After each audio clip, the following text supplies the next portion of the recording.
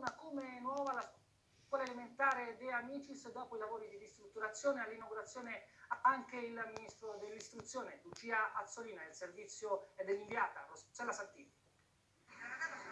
Una scuola antica di paese ora completamente ristrutturata con norme antisismiche ed energetiche grazie alla tenacia del sindaco e della sua comunità con 2 milioni di euro del fondo Kyoto e 250 mila euro di contributi statali un lavoro portato avanti anche durante il lockdown. Fiano Romano balza così alla ribalta nazionale con la politica del fare. È per questo che la ministra dell'istruzione ha voluto tagliare il nastro. Se l'aspettava da Fiano Romano un uh, passo così veloce? Tutto dipende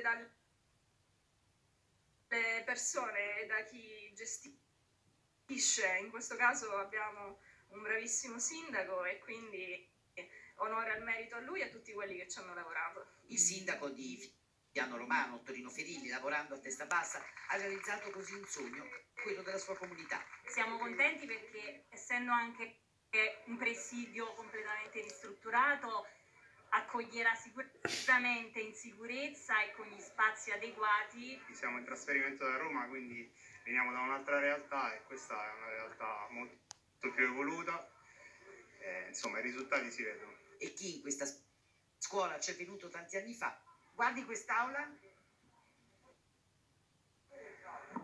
era di questo colore? No, no, il colore non me lo ricordo, però non era così.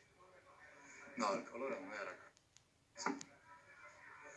Che era di questo colore, no? No, no, no. I colori sono stati di volta in volta rifatti, ripresi. Lei ha insegnato qui. Anche lei è emozionata. Sì, pochino sì. Lei come se la ricorda questa scuola? Io veramente ho fatto qui la, la terza elementare. Quindi pensi quanti anni sono. Adesso è tutto un'altra cosa. Sì, comunque era bella lo stesso.